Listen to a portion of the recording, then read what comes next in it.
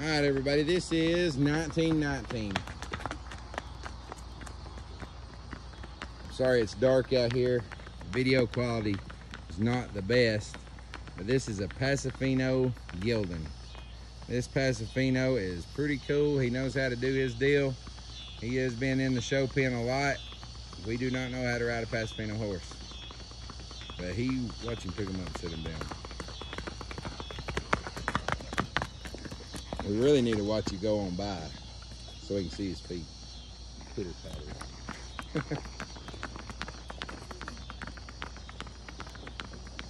I know that there is three different gaits for Paso Finos, and we was told he knows them all. I know there's a Largo and a Paso and a something else. I don't. We don't know what we're doing at all. 100% don't know what we're doing. But I know he's a cool dude. We're riding him in a ring snaffle bit, and he is pretty nice. See if you can make him slow him down there.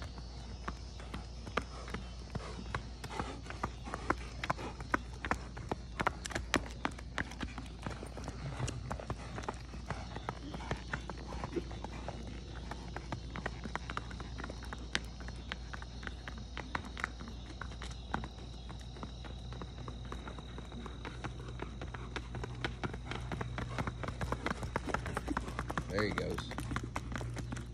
Anyways, but he's a cool dude. He's definitely different.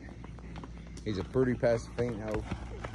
We had another Paso Fino come in, um, and he is grade. So is she. There's no papers on either one. They said we wasn't getting the papers. But really nice horse. How old was he?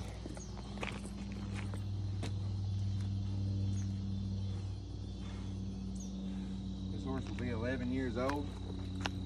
11 year old Pasofino gelding. He'll be bay in color, pretty, no bumps, no blemishes of any sort of kind. He could use a good trimming, um, but a really nice horse. Price on this horse here will be 900 bucks.